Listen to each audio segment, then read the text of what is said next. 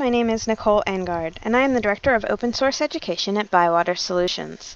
Today's tutorial is going to show you how to use MarcEdit to add item records for importing into Koha.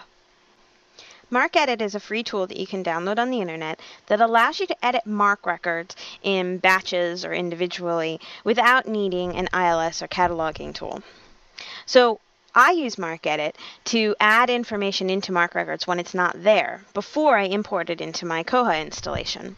For example, I have a file on my desktop of MARC records provided to me by one of my book vendors. So I've placed an order with them. They've provided me a batch of MARC records, but those MARC records don't have items attached. So I'm going to use MarcEdit to create some basic item records in this file before I import it into Koha. So here's my file. I'm going to click on this and open it up. This opens up MarcEdit. And what I want to do is I want to use my MarcBreaker. The file is an MRC file. It's a MARC file. It's a text file that isn't very readable by us if we were to open it and look at it. The MarcBreaker in MarcEdit allows you to break it down into fields so that you can easily read it. So I'm going to click execute. And what it's done is it's found 23 records. I'm going to click edit to edit those records. So when we look at it here, um, we can see each of the fields has its own line. And if we scroll down, there's a, a break in between each record so we can see the breakdown of the records. Koha stores item information in the 952 field, and these MARC records do not have a 952 field. So I need to add one with the basic information in order to import it into Koha. So I'm going to come up here to Tools, and I'm going to choose to add or delete a field. In this case, I want to add a field. I want to add the 952.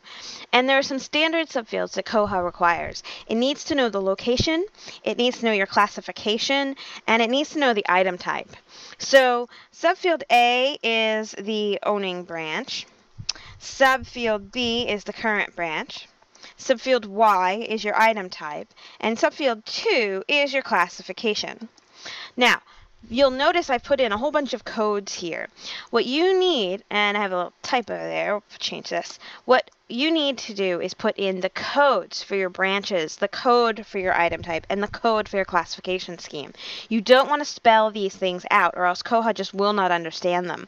So my branch name is Nicole's branch, but the code for it is NIC and that's what I've put in here.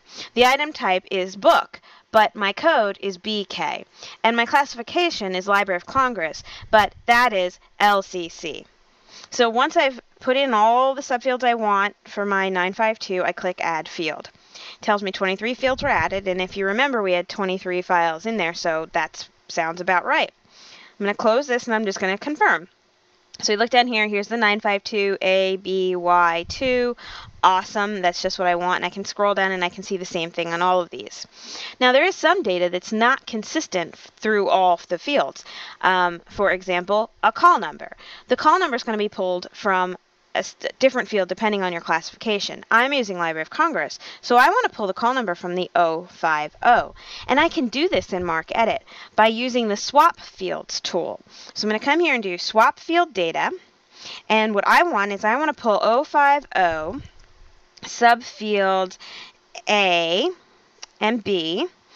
And I don't want to find anything particular. And I want to move it to 952 subfield O. Now I don't actually want to move it because I still want that to stay in the MARC record. So I'm going to choose to copy the source. What this will do is it'll leave it in the 050 and it'll pull it down into my subfield O for my item as well. I want to add it to an existing field as well. If I don't do this, then it's going to put a whole nother 952 onto the record. And that's going to count to Koha as two items. So we don't want that. We want it to add it to the existing field. All right. Once we've got everything selected, we click Process, and we've got 23 modifications again, so that's right. We say OK, close this. Come up here and take a look just real quick at the, the 050. Scroll down, and here is subfield O, and it's the same call number. It's put it in there for me, um, taken the two subfields, put it into one in my MARC record. So now, I have MARC record with the branch information, the item information, my classification, a unique call number for each one of these pulled out of the MARC record. It may change at a later date, but I at least have the data in there for now. And all that's left is I forgot to put on a status. So these are items that I've just ordered from my book vendor, and I want to import them into Koha with a status of on order so that my patrons know these books are coming, but they're not here yet. On order status is also easy to add. In fact, I could have added it when I added the field, but I just happened to forget. And that's a good thing because now I can show you how to go about doing it if you forget to add a subfield. So we want to go back to our Tools menu again, and this time we'd like to edit subfield data. I know we're adding a subfield, but there isn't an add subfield option, so we're going to use the edit subfield tool. And we're going to say we want to do 952 subfield 7. That's where the ordered status goes. It's actually where the not for loan status goes, but ordered is one of the not for loan statuses. It's asking me if I want to look for specific data and replace it, but I don't because it's a new field. So I'm going to ignore the field data box. I'm going to go to replace with and choose negative 1. Negative 1 is the status for on order. You can find out what the codes are by going to your administration area in Koha and looking in the authorized values section. So um, I'm going to say add the subfield if it's not present. So like I said, we're not actually editing, we're adding. So we need it to add the subfield if it's not present. And we're going to click replace text, even though, once again, we're not replacing anything. Am I sure? Yes. And 23 modifications were made. So the number is still right there close this, scroll down to my 952, and if I take a look, there's a subfield 7 of negative 1 on all of my 952s. The order of the subfields in this MARC file don't matter. Koha will put them in the right place when it comes in. What does matter is that the required fields are there, and the required subfields are A, B, Y, and 2. Koha needs those in order to import these records, so make sure you have them. Other subfields can, are defined in the manual. If you want to add additional information, you can, but for on-order records, I've created a nice item here that uh, should work just fine in Koha. So I'm going to um, save my file made changes to it.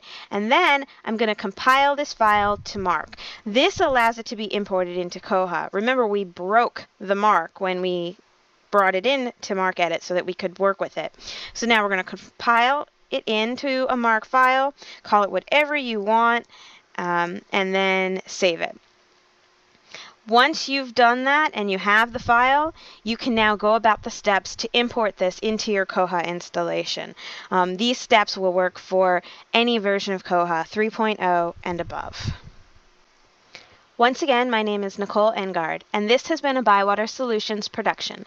Visit us on the web at www.bywatersolutions.com.